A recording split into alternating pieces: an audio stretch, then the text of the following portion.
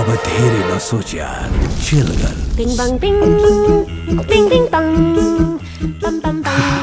गर्मी त चढ्छ नै